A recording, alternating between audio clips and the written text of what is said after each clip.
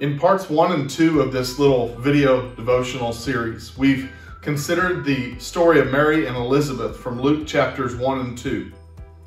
We used the analogy of a premature born baby and its need to remain in the mother's womb for the full term in order to reach complete formation.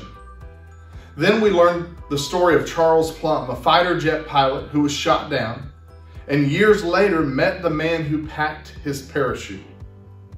What is true physically is so often true spiritually. We were designed to be a part of a church body in order to reach complete formation in Christ. And we all need someone to pack our parachute.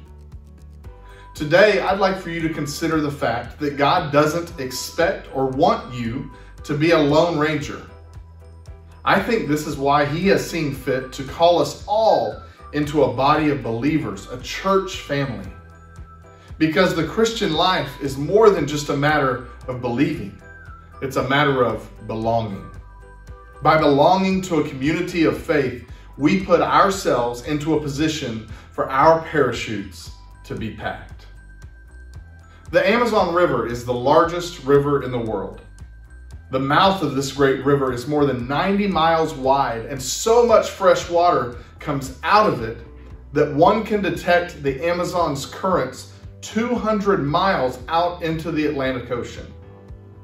One of the ironic realities of world exploration centuries ago was that sailors would often die due to a lack of fresh water while caught in the vastness of the South Atlantic.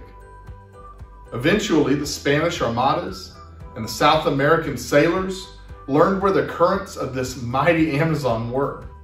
Consequently, they were able to instruct ships that had run out of water to drop their buckets in the middle of the South Atlantic into the freshwater currents of the Amazon. I believe that the church, this local body of believers that we are a part of, is that current of fresh water in which we can drop our buckets for refreshment in the middle of our journey carrying Christ to a salty and sometimes unreceptive world. Who doesn't need to be reminded of how special they are to God or affirmed of their faith in God? Who doesn't need their parachute packed? Far too many of God's children are living as lone rangers, trying to live this journey of faith alone. George Barna, the influential researcher of religious life in America, reported several years ago that the majority of people who made a first time decision to follow Christ were no longer connected to a church family within just eight weeks of their decision. When we attempt to live the Christian life alone, our formation is threatened and we are at risk of severe spiritual dehydration. One of the many reasons that Jesus came was to destroy the work of the devil. Much of what it means for us to be formed into the image of Christ is being fashioned into a warrior who assaults the forces of darkness in this world. God is forming an army of mature soldiers. Not just one soldier here and another over there attempting to fight on their own, but a large portion of this army has abandoned the disciplines of formation. They have abandoned their church family and have in turn stunted the process of formation into the image of Christ. Now, according to numerous broad surveys, three fourths of Americans claim to have made a personal commitment to Christ as their Savior.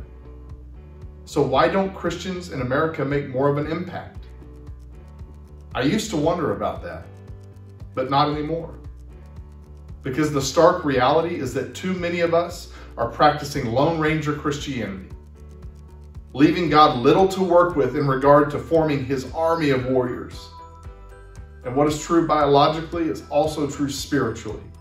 Formation takes place within a body. We have to be in this together. No doubt we need one another. And we are so much better together.